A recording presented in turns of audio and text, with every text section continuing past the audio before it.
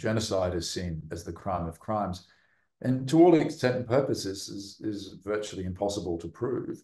And, you know, as I argue in this book, that was the point of the Genocide Convention, so that countries could engage in this, as what Martin Shaw, the sociologist, calls a degenerate form of warfare. This is Not to Forgive, but to Understand, a podcast series discussing genocide studies with experts and those connected to its critical questions. I am Luis Gonzalez Aponte, co host with Saba Karim. Dirk Moses is the Anne and Bernard Spitzer Professor of Political Science at City University of New York. Before that, he was the Frank Porter Graham Distinguished Professor of Global Human Rights History at the University of North Carolina at Chapel Hill. He also taught at the University of Sydney and the European University Institute in Florence, uh, Italy. He is the author of The Problems of Genocide, Permanent Security, and the Language of Transgression, and co editor of many volumes on genocide, including most recently The Holocaust Museum and Human Rights, Patriotic History and the Renationalization of Memory, and Genocide Key Themes. He's senior editor of the Journal of Genocide Research, one of the oldest academic journals in the field. Good afternoon, Dirk. Um, we're very happy to speak today. Well, happy to share that and delighted to be here with you, Saba, uh, on your wonderful podcast. Dirk, I have a question. I think for the for the larger public, I I know people who want answers to this question. I think this question, uh, or rather the the answers to this these questions, may be obvious to some of us. Those of us who, for instance, have been students of international law, who've been studying genocide studies and uh, and, and prevention.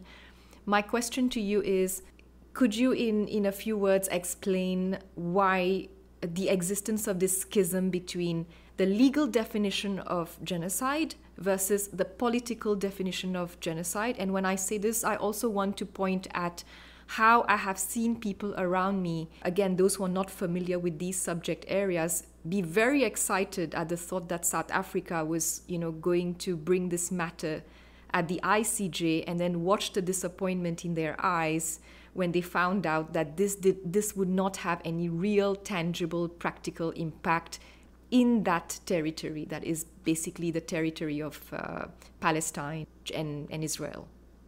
There are a number of issues there, uh, Saba. One is the unrealistic expectations, or if you like, idealism that people have about international law and the way geopolitics works. You know, I mean, international law is, you know, doesn't have an enforcement capacity like within a state. So it's a, you know, states voluntarily accede to these things uh, and they won't if if it, if they think it's inimical to their sovereign interests. You know. That's one issue. Uh, the other issue are these contending definitions of genocide. Uh, in a way, we can go back to the the foundation of the concept in 1943, 1944 with Raphael Lemkin, the Polish Jewish lawyer, who coined it in a, in a book called Axis, Rule in Occupied Europe, the Axis powers being the Nazi allied powers. Uh, and in, in this book, in chapter nine, which was about occupation strategies, hence the the, the, the title about occupied you know, Europe, because he's referencing the Hague Conventions, which governed conduct of states in administering occupied territory after conquest. Uh, that you know he had a very broad definition of genocide there, uh, which included persecution. He talked about permanently crippling of societies. This was also genocide. And he was thinking of ethnic, racial, and religious groups because he, his model was what we now call the Holocaust, but also the, the, the German conduct in relation to the Polish Christian population, which was to be denationalized. And like many other Slavs under uh, German occupation, to be relegated to sort of a, a slave-like helot class uh, for the benefit of German uh, colonists who would take their place after tens of millions of them were starved to death in a, in a long-term plan to thin out the population. Now, happily, much of that didn't come to pass, but Lemkin was arguing that these denationalization policies, which were, you know, violent, but included things like the banning of, say, local languages uh, uh, and demoralizing the local population and so forth, these were all tantamount to genocide because genocide attacked group identity. Uh, and in those days, people talked about national spirits, like the spirit of, of the Polish nation, you know, that kind of thing, which we don't we don't use that language anymore, but we talk about national culture. Certainly, you know, in the first half of the 20th century and in many parts of the world since and until the present day, you know, an emphatic sense of national identity was uh, a call for people's personal identity especially for smaller nations that experienced persecution over the centuries and and were stateless until quite recently. I mean, don't forget much of East Central Europe uh, had a very precarious sense of state uh, status because they'd been members of the Russian, Austro-Hungarian, or German empires until the end of the First World War. For example, Poland was stateless or didn't have a state from its partition series of partitions in the late 18th century until the First World War again. It got its state back. Uh, Czechoslovakia was cut out of a whole cloth and so forth, right? Ukraine was became a state as a Soviet Socialist Republic. And for the proponents of those national projects, also the Lithuania, the Baltic states like Lithuania, Latvia, and Estonia, uh, you know, gaining and keeping this state was elemental because that's how you protected this delicate national identity from its rapacious neighbors as they saw it, the Russians, the Germans, above all, with their sandwich in between. The bloodlands, as, as Timothy Snyder calls it. So the, the genocide concept was very appealing for them because it protected or safeguarded national identity. And they defined that very broadly to include these national spirit-like entities, right? Now, when the Genocide Convention came to be negotiated in 1947 and 1948, cultural genocide, as this language of national spirits was expressed in the first Secretariat's draft, uh, was eventually excluded in these various committees. Now, we could raise South Asia, uh, the de delegates from Pakistan and India as a great example of how these things played out. Pakistan was very adamant that cultural genocide should remain in the Genocide Convention because of the large Muslim minority in India that remained after partition, like two or 300 million people, right? Um, that makes India, you know, one of the largest Muslim countries in the world, although Muslims are a minority. India, by contrast, was adamantly against cultural genocide as a concept, because the last thing it wanted to do was to give a weapon to Pakistan to be able to haul India before some international tribunal for the repression of Muslims within its borders. Okay. So these are the kind of geopolitics that were, were playing out in, in 1947 and 48. And eventually the, the, there was a majority in these committees to exclude cultural genocide and to make Holocaust resemble what they thought the Holocaust was, to make genocide resemble, which was mass murder biological genocide, physical genocide. Okay, so that's what genocide is in international law now. Okay, it's about the physical survival of people who are targeted because of their group membership.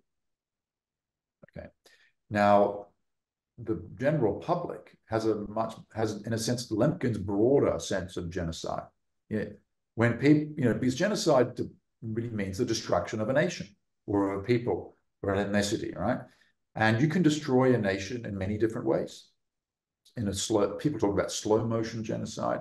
For indigenous people, where culture is so central, you know, the destruction of their symbols, their sacred sites, and so forth, is experienced as an attack on their groupness, their nationality. Okay. And they will argue very plausibly, I think, that genocide should have this broader conception. But that's not what it is in the law. The law makes it extremely difficult to prosecute because the as such at the end of that phrase, the intent to destroy and whole or part ethnic, racial, or religious group as such. And that goes back to our dis distinction between military and genocidal intentions. The as such means that people are attacked physically for their group membership alone, for who they are not for anything they've done, not because they may have contributed to an insurgency. And that's what the Israelis are arguing. They're saying, we're attacking Hamas because they're a security threat. Civilians are getting in the way, unfortunately, because of the nature of the strip. Densely populated, and Hamas has insinuated itself in the population. So, and as long as Hamas keeps fighting, which they do, we will keep responding. And that means that along this logic, which people are now increasingly rejecting, but is legal, Israel can continue to kill quite a lot of Palestinian civilians and argue that it's legal. Now, whether it is or not will depend on particular instances when we're talking about war crimes. Okay. But what they're arguing is that these civilian casualties fall under the remit of international humanitarian law, sometimes known as the, sometimes known as the laws and customs of war, and not the Genocide Convention. You know, that their intention is to defeat, not to destroy, not to destroy the Palestinian people as such. And, you know, the lawyers say, well, yep, that's done and dusted. You know, my argument is a step further is that why do we even have such a restrictive definition of genocide? Well, if you look at the negotiations of, you know, around the Genocide Convention in the late 40s, you'll see that it was interest of states to limit it like that, precisely so they could wage war against internal and external enemies in this degenerate way, if you like, and not be prosecuted for genocide. That's right. So they had their vested interests in making sure that the definition of genocide remained as narrow as possible so they could get away with their crime. Um, and I think, therefore, that I think one of the important points to, to, to, to highlight here is that uh, one can't take Article 2, subsection B of uh, the Genocide Convention, which defines, you know, genocide, to be to be to be read without the assistance of assistance of experts in the field who would then fill the gaps into all the little subsections that have not been mentioned or the extra text extra definitions that have not been mentioned in the definition that we read online or that we read in the instrument itself in the legal instrument so there is much to the definition of genocide that is not spelled out clearly within the provision you recently organized a forum titled Israel Palestine Atrocity Crimes and the Crisis of Holocaust and Genocide Studies. Uh, that dealt or still deals because you're still you're, you're you're still I think waiting for a few more papers to come in. But these uh, this forum deals with of course the conflicts between Israel and Palestine. And one of the papers that caught my attention was Ugur Umit uh, Ungor's discussion on uh, screaming silence and mass violence in Israel Palestine, where he raised a cogent question. Why is the war in Israel Palestine attracting so much attention than the more destructive violence in neighboring Syria or what happened in Darfur, China, Armenia, etc.? Is Israel being held to higher standards? Is a question he poses. This paper especially struck a chord with me, Dirk, because um, while I was in Malaysia for 15 years, I kept hearing about the atrocities in Palestine, and where because many students uh, from Palestine, you know, are in Malaysia, they usually go there. Um, and uh, I, I crossed paths with them. They, many of them were writers, so they were writing about you know their emotional experiences with that. And so, what uh, of course marked me was uh, the, the destruction and de- devastation that they were undergoing, but that was not actually discussed in mainstream media or anywhere else. And yet, on October 7th, what's intriguing is the, uh, the extent of coverage that that event attracted. Not that there is anything against that at all, it's just that it's interesting how uh, the, the, the media channels decide to focus on some genocides more than others. Do you have any thoughts about that? Yes, uh, I do. Uh, I, I, mean, I commissioned all these papers by, for example, Ugur's uh, paper, uh, you know, is, is written by someone who's an expert on Syria. He's published quite a lot on the Syrian civil war, which isn't usually classified as, as genocide, but which we did cover in a smaller forum in the journal several years ago. Uh, he edited it as a guest editor and all the five or six contributors were exiled young Syrian scholars, uh, which was something that was very important for us. Uh, so in the Journal of Genocide Research, we cover more than conventional or widely recognized genocides.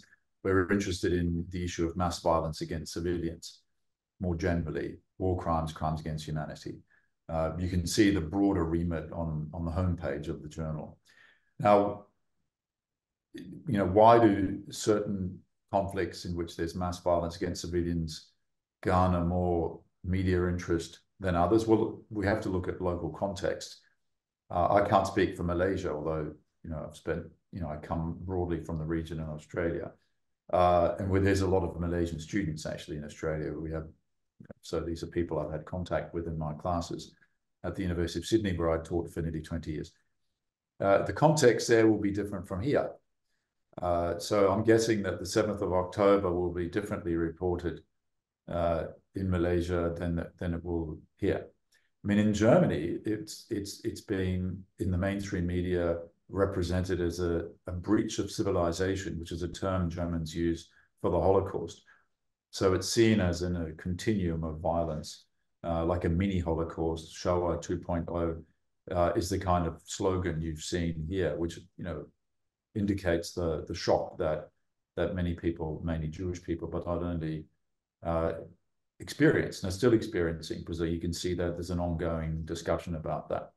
In fact, what led to the forum that you you are you know started out with in your question was an observation that uh, a number of us made among, among the editors. There are uh, five of us, and I'm the, the senior editor.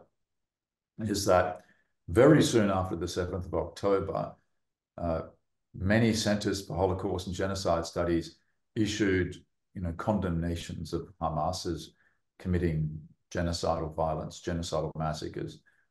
Uh, but they've said nothing about uh, the counter violence by Israel since, which has uh, accounted for 20 or 30 times the number of civilian victims. Uh, we don't know yet. I mean, among those statistics from the Gaza Health Ministry are also Hamas victims or fighters, you know, casualties. So it's hard to, but but we're looking at tens of thousands. Okay, so vastly more, and the the compounding this asymmetry was also statements and letters, you know, group letters uh, and petitions that were going around uh, in which you know colleagues of mine were involved in drafting or signing, in which this kind of asymmetry was repeated. Uh, and and most recently, you have the former president of France, uh, Hollande, uh, saying on French TV that the French Jewish victims, Israeli victims, you know, dual citizenship, uh, of the 7th of October should be honored by an official commemoration in France, but French Palestinian victims in Gaza shouldn't be, because one is victims of terror, and the other are just collateral victims of warfare. Now, we were intrigued by this distinction, which really lies at the basis of Holocaust and genocide studies. And that, that assumption or distinction is this armed conflict is a separate logic than genocidal conflict. Genocide aims to destroy, according to this distinction, whereas armed conflict or military action, military necessity, aims to defeat. Uh, in that, in the course of uh, military action, uh, civilian casualties are inevitable. And in fact, it's rightly argued, in certain circumstances, so-called collateral or incidental civilian casualties are permitted by international humanitarian law. Now, usually in, you know, genocides do take place in the context of, a, of armed conflict, with, you know, whether it's a civil war or an international war. And usually the number of victims of genocide outstrips the, if you like, collateral victims of warfare. So that's why there's one reason why there's this focus on genocide because the casualties are so high. What we've got in the current situation in Gaza is the is the inverse, where the where the co you know the the so-called collateral damage uh, it is alleged. I'm not buying into that distinction, but that's the the label vastly exceeds the genocidal violence that precipitated it by Hamas. So we asked ourselves, what purpose does a field like Holocaust and genocide studies, there's actually two fields, but they're overlapping, uh, have when one modality of mass death is privileged over the other. And the other is actually far more lethal. That is the number of Palestinians being killed. So in this forum where we're not asking colleagues to adjudicate, is this a genocide or not? Although some of them do that at some point in their essays. The central question is about, is there a crisis in the discipline or fields? Is there an epistemological issue? What is our object of analysis or inquiry? Is it civilian deaths or is it only genocidally motivated civilian deaths in, in a very narrow or defined way, which would mean you would end up with the situation or, or of what Francois uh, Hollande says in France, where he says, we're only going to commemorate one side here. Now that, that will lead, uh, if taken to its logical conclusion, to endless civil strife. Because in societies like France, Germany, which is far worse than France in this respect, and in the US and Australia, where I come from, you have communities from the region on both sides. That's right. And, and so the Palestine-Israel situation, I don't like calling it a conflict, but situation is being territorialized into many societies around the world. And therefore that memory conflict has also been in, you know, exported or imported. So I, it becomes an issue of of you know the civil peace in in the US here can lead to the kind of murders that you started out with, uh, or attempted murder in in in Austin recently, where a young man wearing keffiyeh was stabbed, presumably solely because he was identified as Palestinian. Absolutely, and I think um, one of the papers in the forum just made this very powerful statement that if we are here and wondering whether, of course, as you said, wondering whether it's a genocide or not was not the main focus of the forum. But when the question was raised, I think one of the uh, one of the one of the scholars mentioned, if we're already asking the question, it means that things are already very bad, right? So. Yeah. I, I think sometimes we have to get down to very simple observations about what's going on and why we're having these discussions. Yeah. I'd like to, uh, to wrap up this little thread, if that's what we're doing. Uh, when you talked about the diversity of views, we have invited to participate in the forum where we will be about 18 papers in total, and we now have nine, and we're publishing them as they as they uh, come in. Um, proponents of all these positions uh, on both sides of that debate. So in order to get you know a, a proper a proper discussion, rather than one, you know, just one side of the discussion. Right. That's a great. That's a great idea. I mean, this is a, a very effective way of you know gathering the diversity of views and reflecting them right as well showcasing the diversity of views we have out there.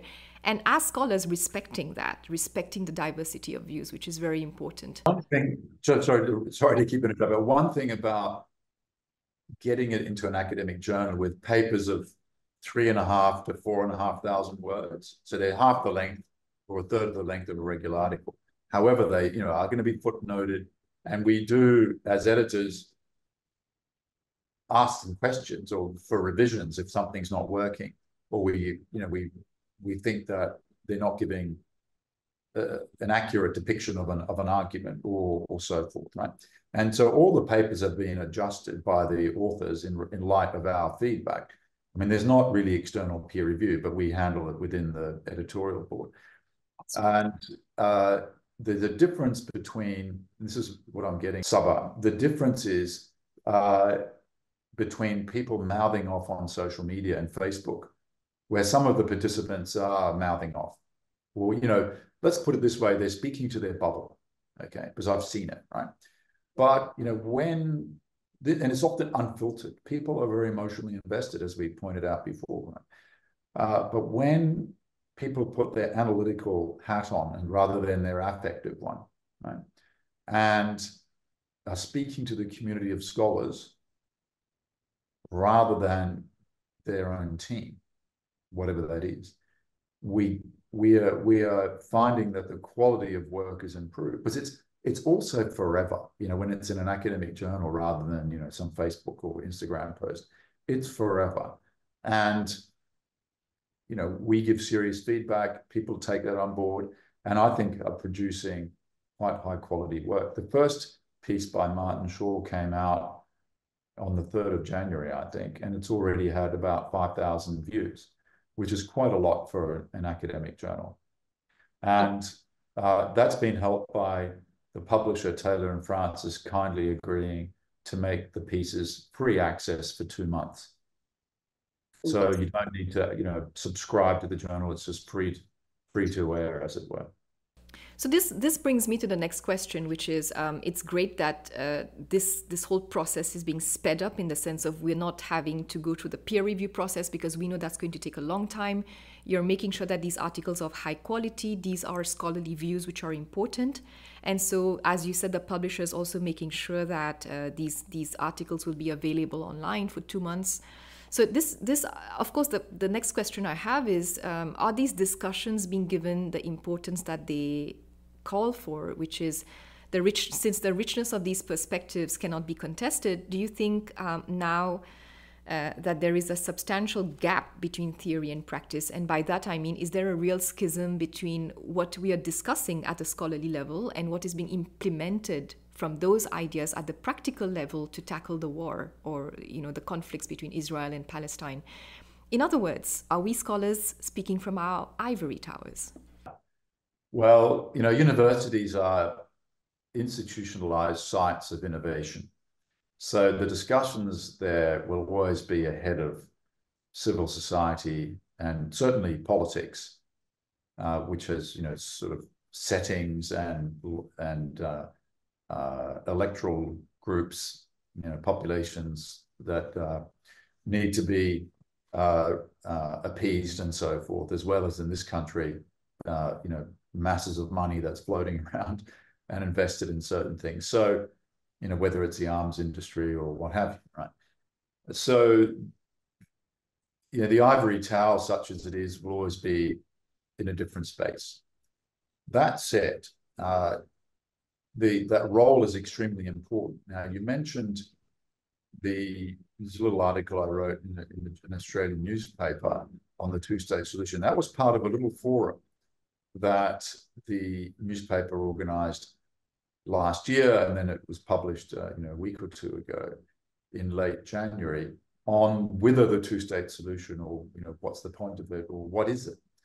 And that, of course, is on the agenda because one of the responses of the Europeans, the Americans, and now especially the Saudis in their firm response to the Americans that they're not going to normalize relations with Israel until there's recognition of a Palestinian state, is that the two-state solution is back on the agenda uh, after it had been effectively buried over the last 15 years.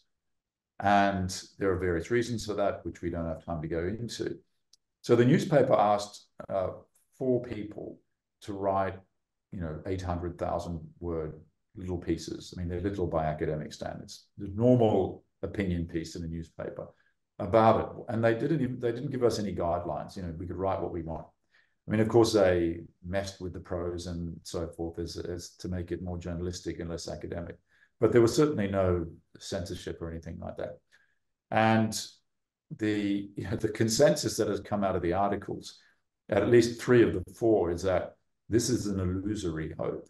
Uh, there may have been a possibility of a two-state solution in the 1990s during the Oslo period, but the number of settlements and so forth that are, and, and settlers that have uh, colonized the, the, West Bank and uh, disaggregated Palestinian territory uh, are so great that the idea of a contiguous Palestinian territory, which could be sovereign, a, a question that the Israelis have, have, said is impossible. You know, it must be demilitarized, if anything, uh, has rendered it illusory. And yet, diplomats like to talk about it.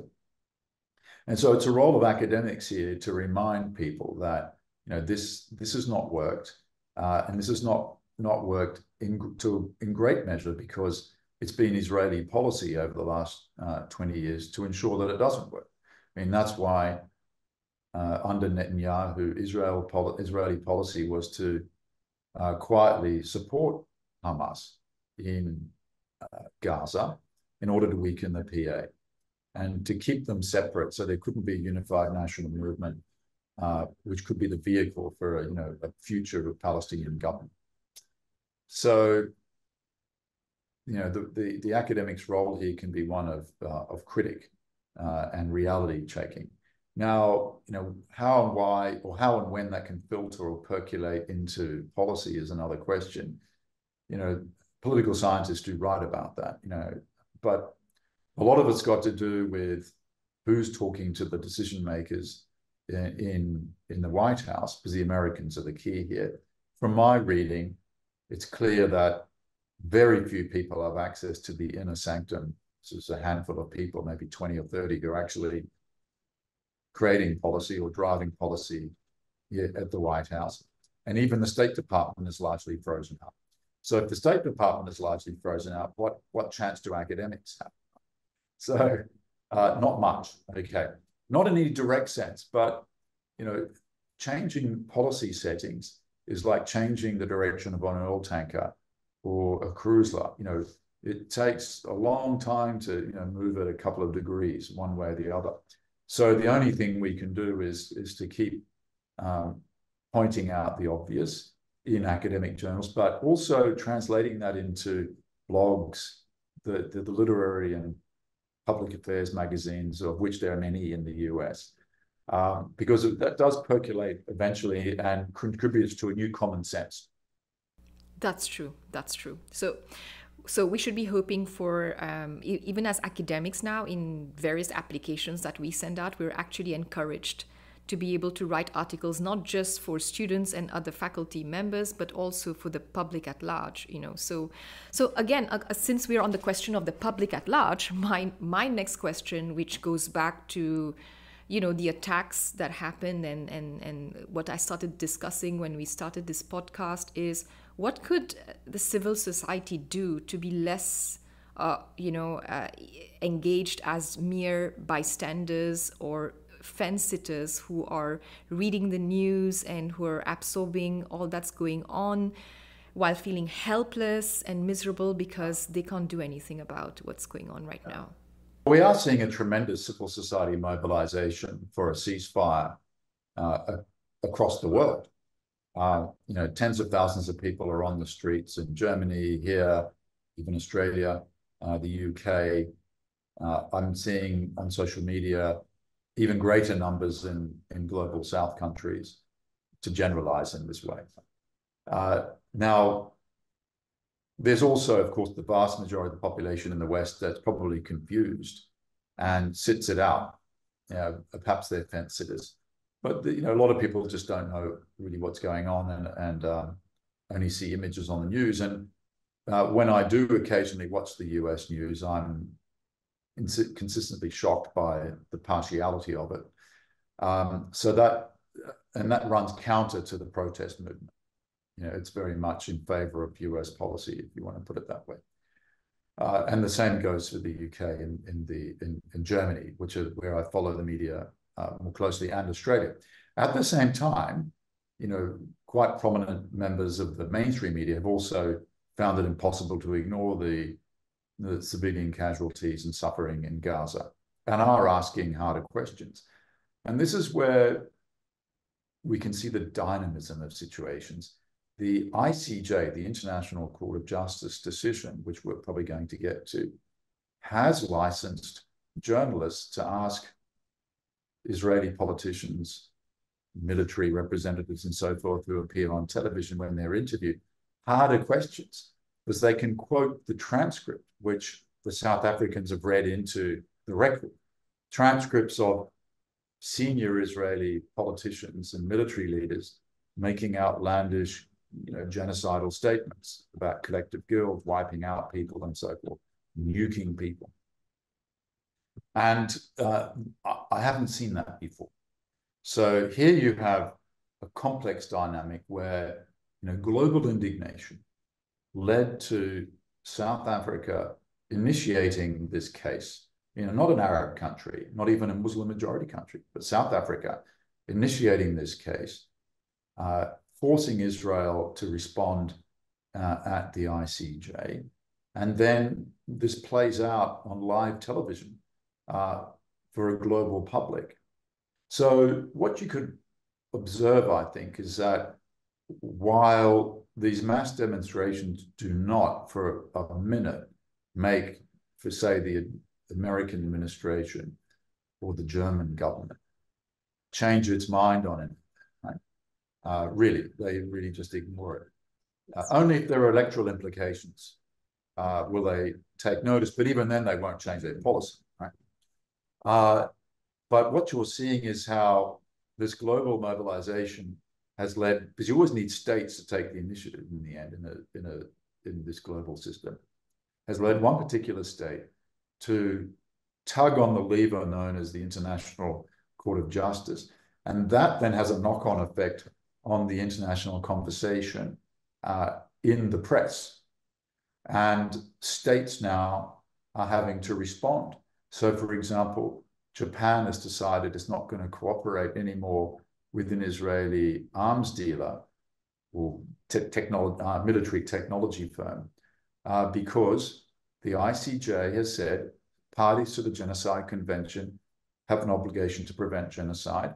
And there's a high probability that genocide could be taking place in Gaza. And so if you take your prevention duty seriously, you will think twice about sending weapons to the Israelis. Now, I don't think the Americans, British, and Germans are thinking twice about it. But wait till lawsuits start, because these are, in the end, uh, rule-bound societies, you know, with some rough edges, where people can say they're you're a member of the party to an international treaty, and you're not abiding by your uh, legal obligation here. And so this will then be played out in the courts. So there are different ways of putting pressure on a state. You know, one is popular mobilization, the other is legal. But they, you know, gradually, you know, as I said, change the direction of a ship. But it's going to take a long time, if ever.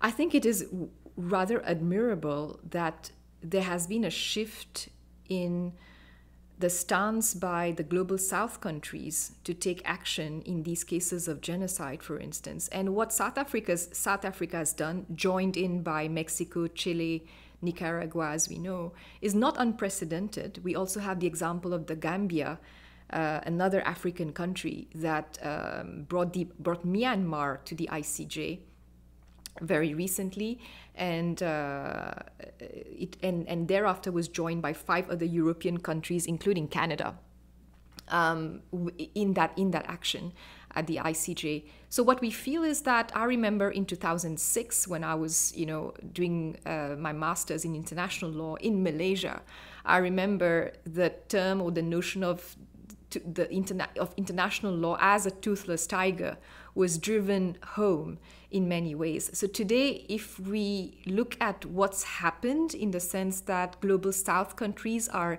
feeling empowered enough through the international law mechanism to take action against not just let's just say in the case of genocide but also South Africa brought the United States in the put the United States in the dock i think that's really a shift of power from you know America, from from the West, from European nations onto well the rest of the world pretty much. Do you have any observations about? I mean, I know that you just talked about how we will hope that you know the legal effects and uh, or the legal judgments handed down by these courts would you know uh, stir other people, stir other bodies into action. But do you have any observations about this shift of approach in international law and where we will eventually go from here? Well, I'm guessing that in Malaysia and your legal training, you were exposed to a fair bit of you know, what's called TWAIL, third world approaches to international law, uh, to which I'm quite sympathetic. And my, my book you mentioned on the problems of genocide, although not driven by that literature, comes to very similar conclusions about the coloniality and state-centric and originally Western or Eurocentrism of uh, the, what was known as the law of nations or uh, now international law. Now, what you know, the law is also, however, a site of contestation, and you know, the, it can be nudged in different directions. For example, the the League of Nations that was established uh, after the First World War, you know, was really meant to be uh, a vehicle for the great powers uh, in Europe, plus the Americans. But it did have its own assembly, like the General Assembly of the United Nations, and set up things like the uh, Permanent Mandates Commission. And these institutions sometimes take on a life of their own and, and can't just become the plaything of the great powers that created it. And likewise with the General Assembly of the United Nations. You know, the, the General Assembly was very different in 1965 than it was in 1945, precisely because a lot of decolonization had taken place in the meantime. So there are all these African and Asian states now suddenly in uh, the UN, passing resolutions on apartheid and and uh, the right of armed resistance against colonial rule and so forth. And that eventually led to the additional protocols of the Geneva Convention in 1977, where the legitimacy of armed resistance and certainly the protected status of guerrilla fighters if they abide by certain rules was recognized. Where in the past they were just seen as criminal bandits and could virtually be shot, you know, on sight uh, or summarily. So there are you know, incremental changes as the international system uh, you know, it's populated by new players and so forth. Uh, but, you know, many critics, have, including myself, have also observed that in the end, it's states are the only people here or, or entities with emphatic legal personality. And even post-colonial states have their own agendas, which can be inimical to human rights. And you know, many of these states weren't very stable and, and led to genocidal style uh, conflicts soon after their independence. One thinks of Nigeria seven years after its uh, independence.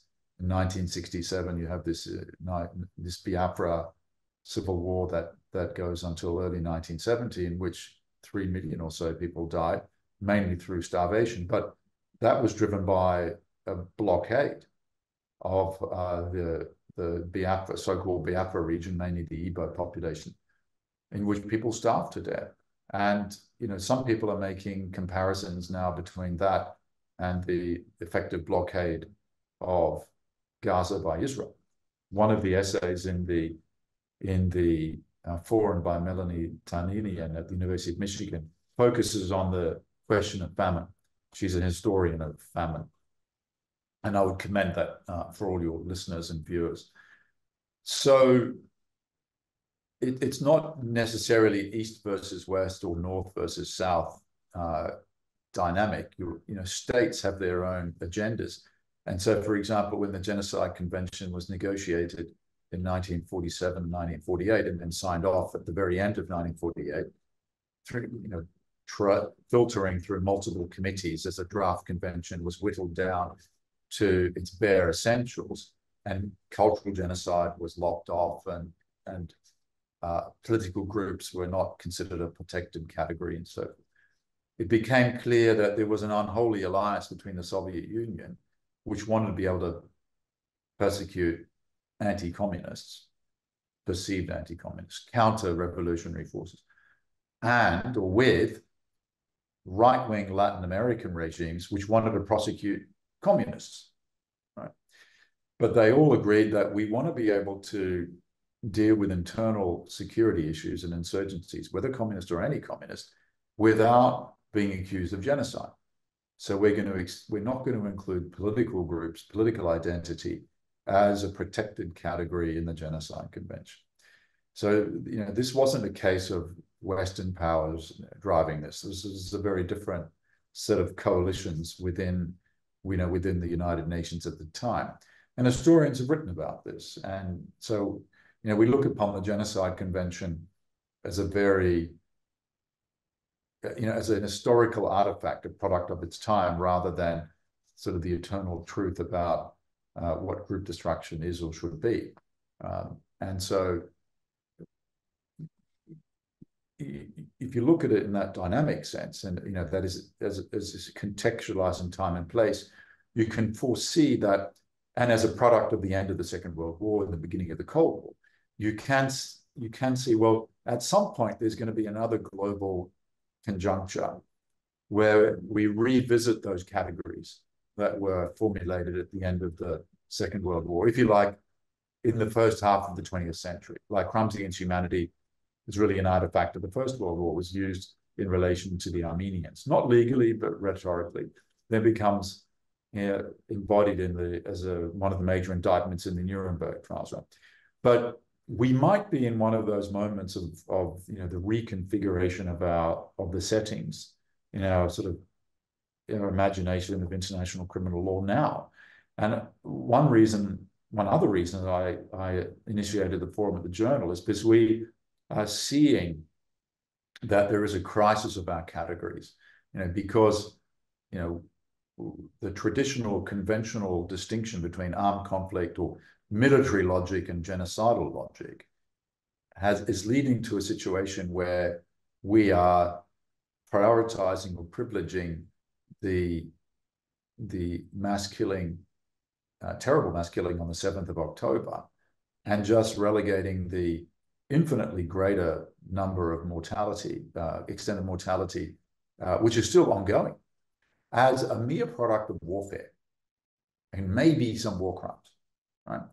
Uh, now, what I'm seeing, and I wrote about this just on a blog uh, from the Dawn website uh, today, which is the um, 9th of February, I think, that what we're seeing, I think, in the global outrage, certainly outside Europe and America, but also within those societies, for those protest movements, is a rejection of that distinction between armed, legitimate armed conflict, illegitimate genocidal intention. People are recognizing that there is a mode of armed conflict with genocidal outcomes or genocidal aspects. And that because they only have this limited repertoire in our vocabulary to work with, they call it genocide and try to squeeze it into the to the stipulations of the genocide convention. You know, which is always a matter of kind of it's a Procrustean bed, like stuffing a messy reality into these neat categories of international law and it you know can often distort uh, distort the complexity of this reality.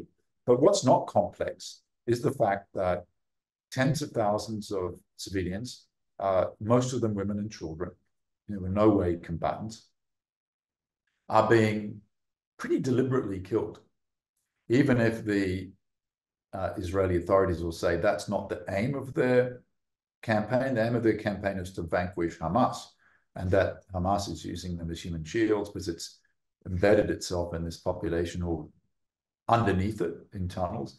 And so they have no choice. Now, that reasoning is, is, is not increasingly not being accepted as legitimate uh, for various reasons we, we could get into if you want. But people don't accept this as a legitimate mode of warfare anymore. And I think that is heralding a tectonic shift in our sensibilities, which to some extent is generational. I think to the credit of Gen Z, so the the age of our undergraduate students, they just don't think this is acceptable anymore. Whereas, it, you know, this was the norm during the Second World War beforehand, and quite a lot of many decades since then. Like there was a debate about genocide in Vietnam, which was driven by the left, people like Jean-Paul Sartre, who wrote an essay about genocide in Vietnam. Mm-hmm. Now, if you read it, he makes some, I think, implausible connections between, uh, you know, U.S. conduct in Vietnam and the Holocaust. There's always this attempt to analogize, which fails usually, because the Holocaust doesn't look like Vietnam or vice versa, right? But it's undeniable that the Americans killed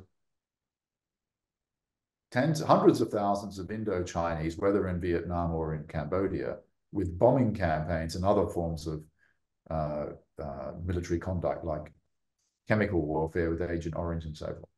And that this was, you know, that and that these casualties were totally foreseeable. Okay, the Russians wage warfare that way uh, in Chechnya and now in Ukraine with total disregard to the civilian population. Although they say, as all states do, that they abide by the laws of war, but they don't. Okay, and it, not for nothing have you know Ukrainians and their supporters been calling the Russian campaign genocidal. Now, the international lawyers are, you know, because they're sticklers for the black letter law, and that, that's what they do, they have no choice, have been, you know, less enthusiastic about that. And the ICC has indicted Putin and one of his officials for war crimes in the transfer of the children. Could have easily made it genocide, because that's also one of the articles in the Genocide Convention, I think 2E. But you know, they're very conservative, the international lawyers, and you know, genocide is seen as the crime of crimes. And to all extent and purposes is, is virtually impossible to prove.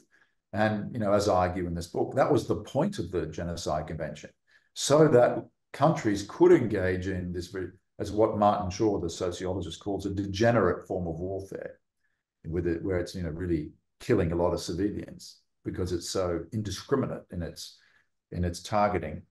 Uh, where and people are saying no, that is not acceptable anymore. We may have accepted it in the Second World War with you know flattening German cities, uh, atomic bombs onto Japanese cities, uh, blockades, and so forth. But this is just unacceptable. And, you know, international law, it will take decades for these conventions to be amended, if ever, you know, is, is going to follow that at some point, I think.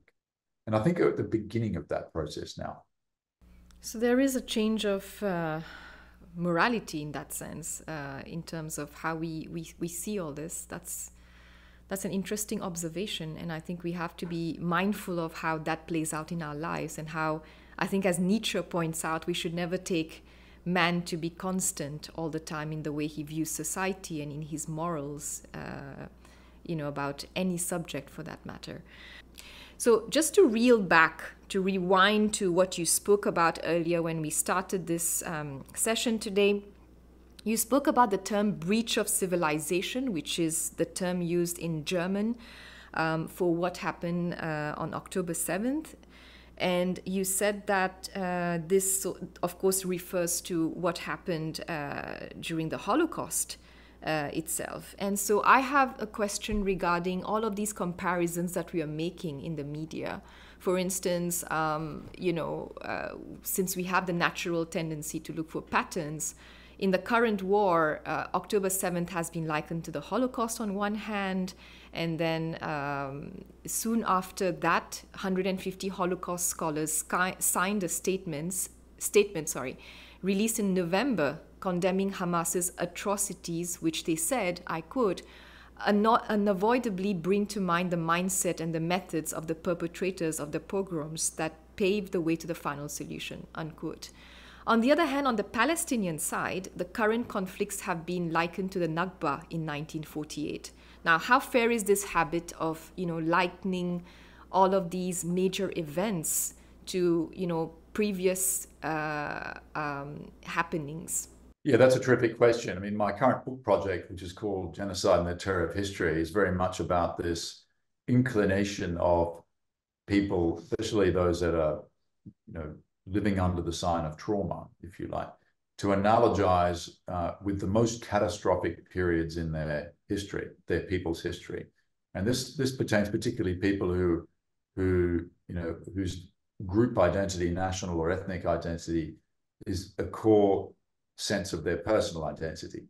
You know, a lot of people don't care about their national identity, but a lot of people do.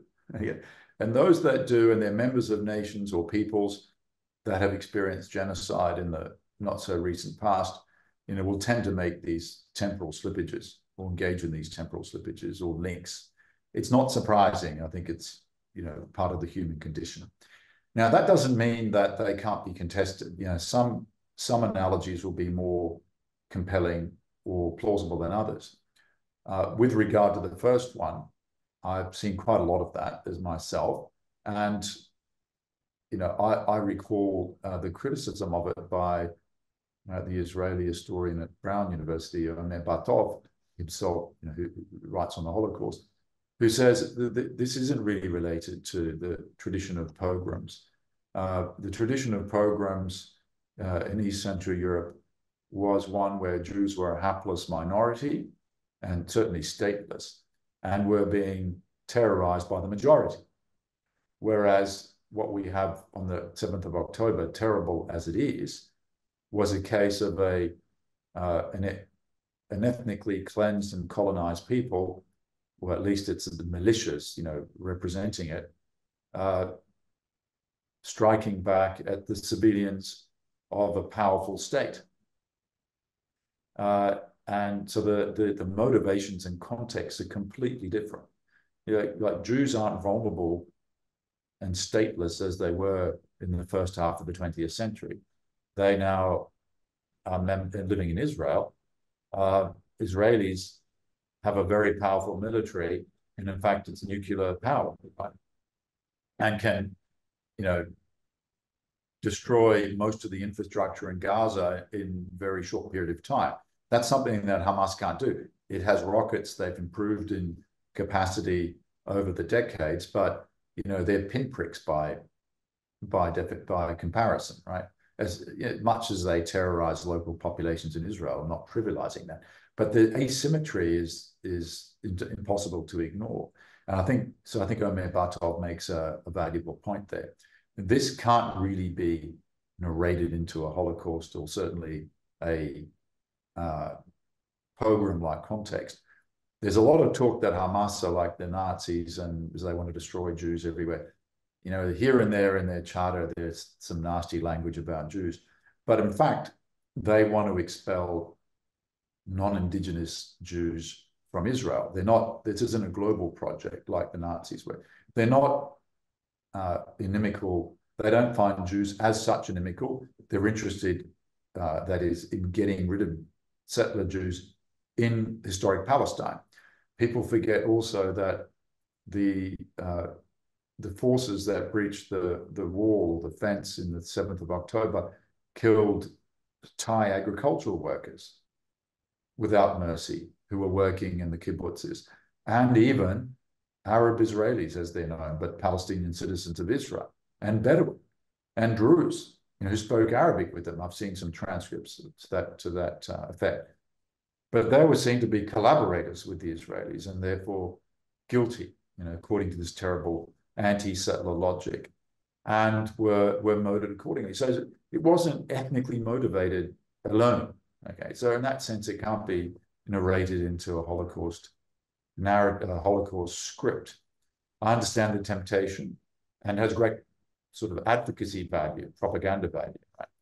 Because if you can cast an enemy as the Nazis, then there can be no limits to how you confront. Now, on the other side of the equation, the continuation with the Nakba narrative seems to hold much more water because we're dealing with the same population and uh, we're dealing now with a, you know, aspirations on the part of at least some members of the Israeli state to deport or ethnically cleanse this population. They're using the language of encouraging migration, but it's effectively a, population transfer. And this, so this is very much in keeping with what happened in 1948. Uh, and this has been an ongoing process in fits and starts uh, since then. Uh, and we mustn't forget the West Bank, where the French government called uh, says a policy of terror is being instituted by settlers in collaboration with the state, where you know they've killed you know over 300 people since the 7th of October, and uh, you know trying to induce villagers and shepherds and so forth to leave. And Jordan is not going to take them, but that's the aspiration to get as many Palestinians out of the West Bank as possible. Because this crisis moment is seen as a once in a generation opportunity to continue the work, the unfinished business of 1948. So the, the, the Nakba analogy is, is, is, is, is all too present for people, and people shouldn't forget Israeli politicians themselves are saying that let's do another Nakba, words to that effect. So this is something. This isn't something that's been read into the documents or, you know, seen. It's not between the lines. This is an explicit discourse. And and I think um, I, of all the talks that I have listened to, of all the papers that I've read on the subject, I think um, it's very clear that people are missing out on that added dimension that ju- you just referred to, which is basically um, the the the other element we're not factoring in, for instance, uh, which is basically the Middle Eastern conflicts themselves, the tensions within that area, within that territory.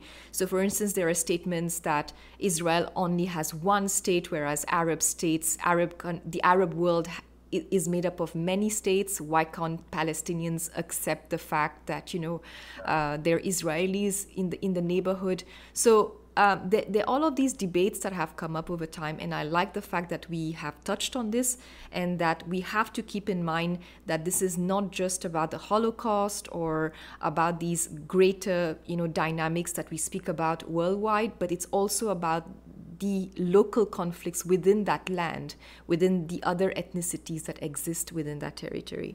Um, I have one last question, and this is regarding an article that you exchanged with me, that you sent me because we've been having conversations before this podcast. Um, I am curious about what you feel about the article um, by that was published by the Carnegie Endowment for International Peace uh, if you remember the titles Governing Gaza After the War, The Israeli Perspectives, and it's written by Ari Dubnov, among other people. And um, the summary of this article is that it sort of like presents possible predictions about uh, the future, as in what will happen after these conflicts basically abate. What are your views on that?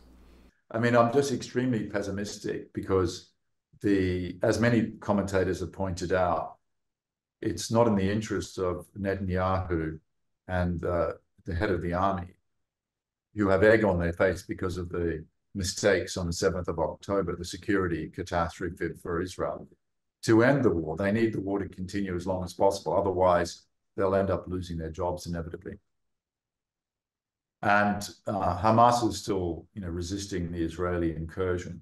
So as long as this goes on, uh, uh, the Israeli state will will persist in trying to crush Hamas, and the civilian population, which is you know being corralled to an ever smaller corner of Gaza, will will continue to suffer. So it's hard to know you know when this is going to end. The Americans and Europeans are, I think, you know, well, not we know that they want them to to wrap this up as quickly as possible. And that does present Israel with uh, a, a major strategic dilemma because if there isn't a emphatic military victory over Hamas, you know, if you, Israel is forced to to uh, silence the gun, say in a month or two, and Hamas is still fighting, this will be seen as a major defeat for Israel because its war aims were to do, were to uh, vanquish and neutralize Hamas in the aim of what I call permanent security to make sure Hamas could never ever be a threat again. And there would be a, a new type of administration there. In fact, the Prime Minister of Israel tweeted that just today. Um, a civilian administration that doesn't preach hate, you know, this kind of language. So no more Palestinian resistance of any type. So very pro-Western, pro-Israeli administration. Now, I've seen commentators talk about this. And no one can envisage the viability of such an administration. Arab states aren't going to participate in it. Uh, the Israelis have said the PA can't be the vehicle for that. So who is it going to be? If there's going to be handpicked local Palestinian collaborators, they will be liquidated by you know, the remnants of Hamas, Islamic Jihad, and so forth. In Gaza, it would be completely unstable. And you would inevitably have a long-term Israeli military occupation, which is not what anyone wants, and nor can Israel afford it. So it's hard to know what, what this is going to look like. Now, we, we also know that there are countervailing or disparate forces within Israel itself. In the political class, you have the Kahanas, the settlers, who are looking to resettle Gaza and push out as many Palestinians as possible. They talk explicitly of thinning out the population, right? Uh, Netanyahu is not backing that right now. Uh, he understands that Egypt isn't going to take anyone, and neither is Canada. It's a state that's often been mentioned by some of the settler proponents. Uh, the idea is that you know all states around the world take some of the two million or so refugees, and that um, it can be left then for Israel. I mean, this is a kind of utopia to reverse the perceived mistake of 2005 when Ariel Sharon withdrew from uh, from Gaza. They want to reverse that mistake. Netanyahu doesn't go quite that far, but you know he may not be the prime minister for long. If and when he goes, and there's a, an election, it's most likely though that you'll get a much more centrist government, uh, which is more likely to you know listen to the Americans and the Europeans. And inevitably, they might have to try to install the Palestinian Authority there. Uh, now, as we know, the, the Western powers are talking about a two-state solution to circle back to our earlier conversation. But the Israelis have made it clear that there's not going to be any sense of sovereign Palestinian state, certainly you know, with no military capacity. So then it's not a state. You can't have states which are demilitarized. It's by definition not a state. Uh, so it would be, from the Palestinian perspective, a continuation of apartheid rule, which they're not going to tolerate. You know, it'd be you know some kind of local autonomy, but without any sovereign capacities, and certainly not the ability to protect Palestinians from settler depredations. You know, which is what's going going on in the West Bank right now. So, it, it the international community is trying to come up with solutions. But once again, to also circle back to our discussion about the role of academics, we are telling you that this two-state solution is not going to work. We're telling you until the uh, the foundational, you know, violence of 1948, the ethnic cleansing of Palestinians, isn't addressed, and that the occupation isn't addressed, then you're never going to have uh, peace and security for anyone in the region. And so many people are talking about confederal or binational solutions within one uh, loosely, you know, or, uh, organized state, uh, where everyone has equal rights. So the basic principle has got to be equal rights for everyone. Now, that's a discussion worth having. It's extremely utopian at the moment, but you've got to start somewhere. And people certainly aren't in the mood in this traumatized moment to talk about equal rights for anyone. But you know, let let's see where the conversation is in a year when when these other solutions have been attempted and have failed. This was not to forgive, but to understand, with our guest, Dirk Moses. To our listeners, don't forget to like, subscribe, and stay tuned for more discussions. If you would like to see and hear more from our guest, he will be speaking on the problems of genocide, definitional constraints, and the Israel Palestine conflicts at the Genocide Awareness Symposium held in April 2024 at Texas State University.